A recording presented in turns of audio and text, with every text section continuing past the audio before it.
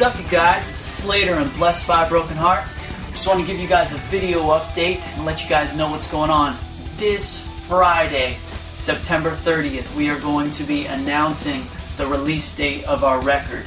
We're going to be giving you the album cover, the album title, and letting you know when it's finally coming out. Maybe you guys will even be getting a song soon. Who knows? Just stay posted.